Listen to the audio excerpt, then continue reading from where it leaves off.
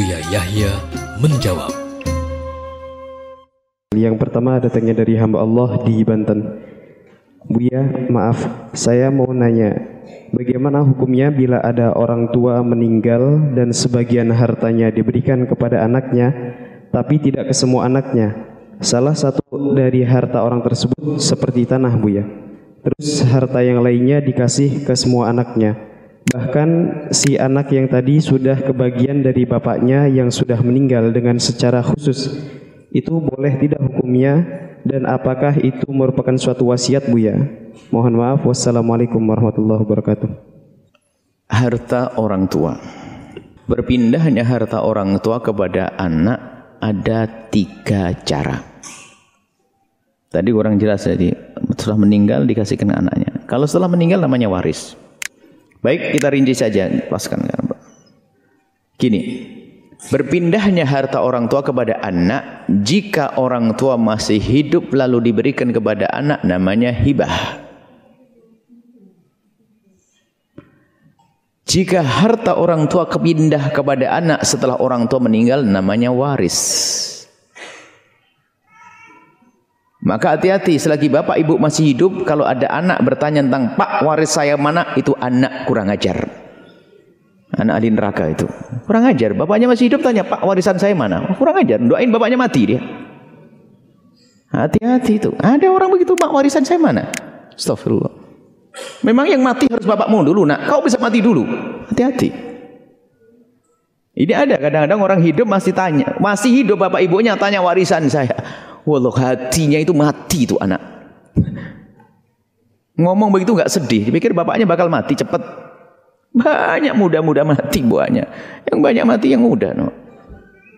Semoga panjang umur semuanya. Hati-hati. Lihat. Jadi waris kalau setelah meninggal dibagi namanya waris. Ada namanya wasiat.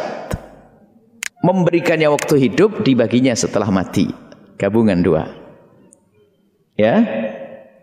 Wasiat misalnya seorang bapak berasa, nak kalau abah mati nanti tolong itu berikan ke sana, itu wasiat. Maka wasiat nanti ada wasiat yang harus didengar. Sehingga di dalam pembagian waris, tadi kita singgung waris, pembagian waris itu harus secepatnya. Agar tidak terjadi persengketaan dan percecokan. Cuman biarpun cepat dan cepat harus setelah utang kepada Allah, utang kepada manusia, utang kepada harta. Utang kepada Allah adalah misalnya nadar. Utang kepada manusia diberesin dulu. Utang dengan urusan harta, zakat yang harus dibayar, tak taunya belum waktu bayar zakat mati, keluarin dulu zakatnya. Yang kepada adalah wasiat. Wasiat didahulukan sebelum dibagi waris. Wasiat, tapi wasiat pun harus tanya kepada ulama, tidak semua wasiat boleh dibagi dipenuhi. Bahkan ada wasiat yang haram dipenuhi. Makanya kalau sudah orang tua wasiat itu jangan semaunya sendiri mentang-mentang wasiat. Anda dengar wasiat, boleh tidak dipenuhi wajib atau tidak? Selagi tidak wajib, tidak harus. Bahkan ada yang haram dipenuhi. Bapaknya meninggal, nak, kalau abah mati nanti tolong abah kan punya tabungan duit itu. Itu nak, anak-anak mabuk itu bantu nak belikan khamar yang banyak nak. Ah ini enggak boleh dipenuhi, haram. Wasiat yang haram dipenuhi. Ada wasiat yang boleh dipenuhi tapi tidak harus misalnya, nak kalau aku mati nanti tolong kubur di sana. Bumi Allah sama. Enggak harus maksain Jawa Timur pindah ke Jawa Barat. Kali dipenuhi boleh-boleh saja, berarti bukan suatu yang wajib. Maka jangan direpotkan dengan wasiat urusan tempat kubur ya. Tapi boleh saya tidak memberatkan. Tapi kalau harus kosnya besar, biayanya besar, sedekahkan untuk bangun masjid, pahalanya nyampe ke orang tua. Meninggal luar Jawa harus pulang ke sini? Enggak harus. Kubur di mana saja. Itu penyimpanan jasad bumi. Alam barzah itu alam lain. Jadi itu wasiat. Kemudian lihat kalau war, kalau hibah ini pembahasan tadi. Hibah awas. Hei para orang tua. Jika anda memberikan kepada anak anda waktu anda hidup namanya hibah, maka hibah harus adil. Haram orang tua yang tidak adil kepada anaknya karena ketidakadilan orang tua itu akan merusak hati sang anak. Sehingga ada sebuah keluarga itu anak itu karena bapaknya itu paling sayang dengan salah satu anaknya. Sehingga semuanya yang lain sudah tahu bahasanya kalau pasti dia pasti diingin, dituruti. Sehingga kalau menginginkan apa-apa lewat anak satu ini. Lah tiada. Yang bilang ke abah gini, eh, oh dikasih kan? Kalau kita nggak ada dikasih. Diam-diam akan tertanam dendam. Bapaknya meninggal tuh, bapak mati. Mau apa kau? Jadi kalau ada orang tua tidak adil menjadi meracuni anak. Menjadi sebab kedengkian di antara sang anak. Bahkan mukaddimah rebutan waris dari sini. Hebat orang tua, hati-hati. Bahkan kalau ada anak bandel dan sebagainya pun tidak boleh diperlakukan tidak adil. Adil ini adalah bukan berarti adil langsung dibagi anaknya bayi bayi masih orok masih bayi bagi-bagi duit 100 juta yang gede ini ini anak kecil kasih 100 juta hilang diambil sama orang nanti. Maksudnya disiapkan begitu dalam pikiran kita nggak boleh niat membeda-bedakan hati-hati. Biarpun masalah pemberiannya nunggu nanti setelah menikah saya buatkan rumah karena kamu belum menikah belum. Tapi harus ada dalam hati kita ingin memenuhi, oh, ingin berbuat adil. Jangan mentang-mentang itu anak mama langsung dia terus terus terus terus terus terus terus Anda merusak merusak hati anak yang lain. Hati-hati. Urusan pemberian harus adil. Biarpun anak bandel dengan keadilan kita akan menjadi sebab dia semakin lembut hati. Kalau tidak kita perlakukan dengan adil semakin keras hatinya. Ingat, hei para orang tua jangan tidak adil kepada anak. Di sisi lain, ini ini kalau tidak kita sambung ini bermasalah nanti. Hei para anak, jangan sekali-kali engkau berani berkata kalau bapakmu tidak adil. Awas, hati-hati. Karena banyak yang diberikan kepadamu di saat engkau tidak sadar. Mungkin waktu engkau kecil. Atau diam-diam sudah dipersiapkan cuma belum diungkapkan. Maka awas. Kalau ada anak. Makanya kalau kita hanya ngomong orang tua wajib adil. Tiba-tiba anak berkata. Apa, apa harus adil? Ini kurang aja. Makanya saya sambung sekali. Kalau saya hanya nasihati bahasanya orang tua harus adil, nanti ada anak pertobatan, hmm, bapakku tidak adil. Langsung ngomong gitu nanti. Apa hati-hati? Enggak. Jangan sekali-kali sebagai anak berani berkata kalau bapak tidak adil. Biarpun di matamu memang tidak adil. Karena apa? Kita tidak tahu semuanya dilakukan oleh bapak ibu kita. Mungkin waktu kita sakit dulu menghabiskan duit yang banyak. Mungkin waktu masa kecil kita menghabiskan duit yang banyak kita tidak tahu. Mungkin sudah disiapkan tapi orang tua belum sempat menyampaikan kepada kita. Awas, jangan sekali-kali sebagai seorang anak berkata bapak kita tidak adil. Biarpun tampak yang dikasih anak itu, itu, itu saja. Mungkin ada satu hal. Mungkin orang tuamu adalah seorang wali kekasih Allah. Anak ini mungkin punya anu atau apa yang lebih tahu mukmin. Maka jangan prasangka buruk ini. Ini penting sekali. Kadang so, seorang anak dengar berita yang pertama tadi langsung, bapak saya tidak adil bu ya. Bapak saya tidak adil bu ya. Wah, kurang ajar kau. Karena kamu masih kecil belum waktunya dikasih. Kok dia dibangunkan rumah? Dia sudah menikah dan punya anak, kamu belum.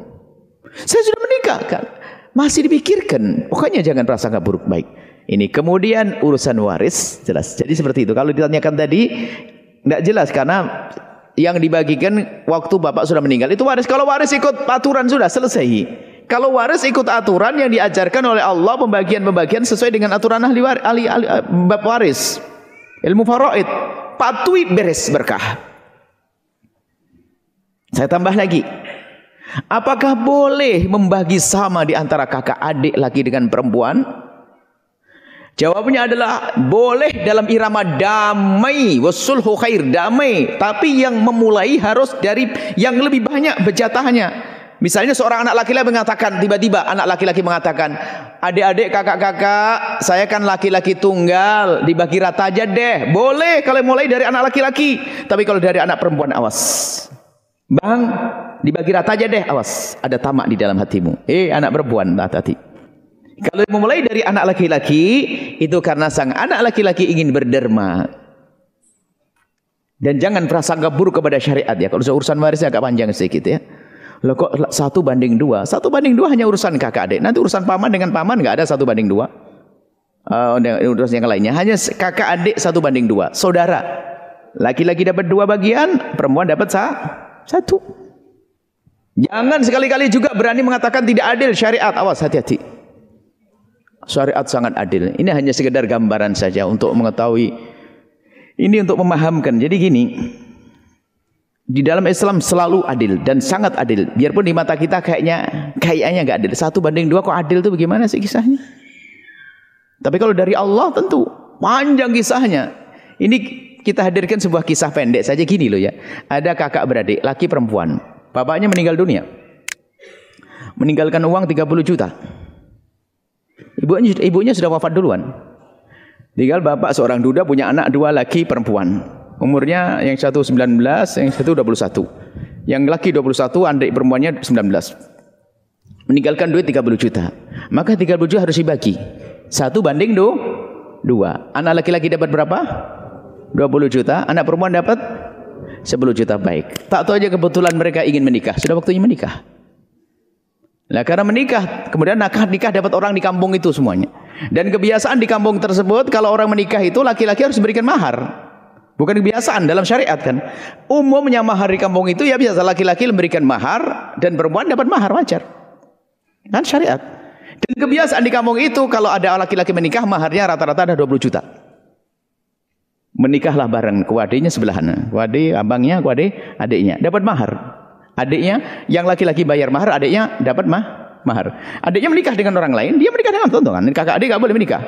Sang abang menikah dengan seorang anak gadis, meminang anak gadis menikahi, lalu ngasih mahar. Ngasih mahar berapa?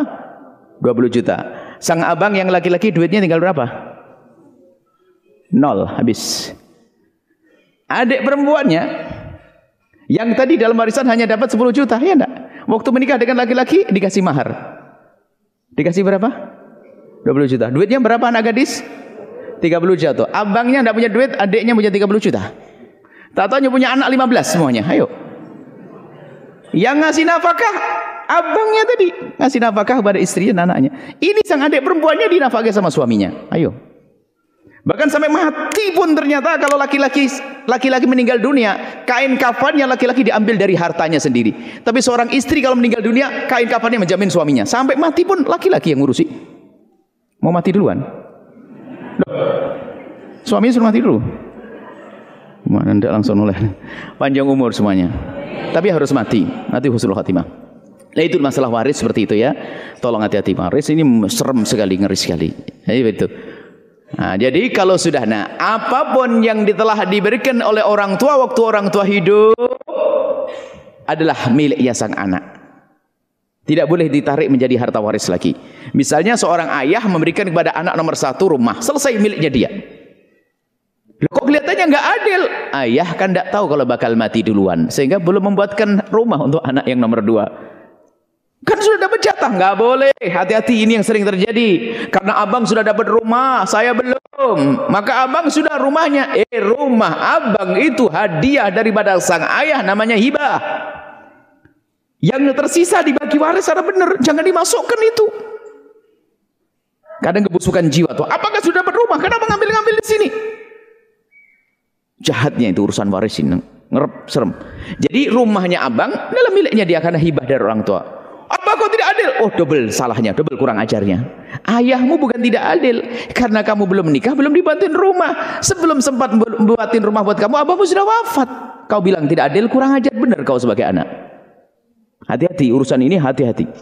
Hmm, maka abang sudah punya rumah, alhamdulillah punya rumah. Daripada nggak punya rumah semuanya. Kalau orang punya hati bersih kan aman. Tinggal tanah yang ada semuanya dibagi sesuai dengan aturan waris. Abang dapat lagi ya dapat lagi dong. Tadi bertanya. Dapat lagi sang abang. Karena yang rumah didapat waktu ayah hidup, sekarang didapat setelah ayah meninggal. Tadi sebagai hibah, sekarang sebagai warisan. Seperti itu. Wallahu a'lam bishawab.